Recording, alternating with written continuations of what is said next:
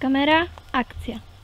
E, Teraz jeszcze powiem tak, skoro jestem już przy piecu, to powiem jeszcze o innych smakołykach z pieca.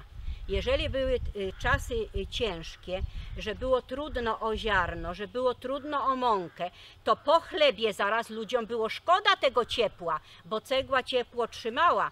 E, To ludzie e, ziemniaki skrobali, e, obtaczali w mące i rzucane były prosto na ten trzon.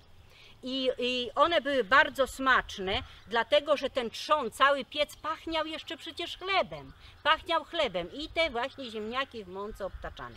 Albo w mojej rodzinie pieczone były e, takie placki. My, e, dzieci, to wołaliśmy na to Adam i Ewa, dlatego że to dwa takie na brytwankach czekały, aż tam chleb się gdzieś posunie albo coś, żeby jeden placek to był z marchwi tarta marchewka, trochę śmietany albo mleka, trochę mąki wymieszane na brytwankę.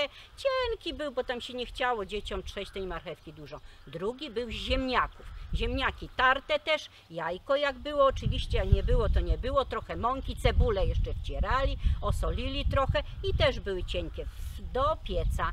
I właśnie ten szczególnie z ziemniaków, to tak zapamiętałam, że jedzony był z kapustą właśnie taką z beczki. E, I myśmy tak nazywali Adam, Ewa, no bo jak to dzieci to, to zmyślały. Ale jak nadeszły czasy trochę lepsze, już po wojnie, e, gdzie już trochę pracowali ludzie, gdzie było trochę grosza, że już była mąka pszenna, to bardzo popularne były z pieca e, właśnie pierogi. To było ciasto pszenne, ale takie liche. Tam była tylko woda letnia i były takie e, jak talerzyk wielkości, jak talerz. W środek wkładana była kapusta gotowana z grzybami, zaklejane były na brytwankach, wsuwane do tego pieca.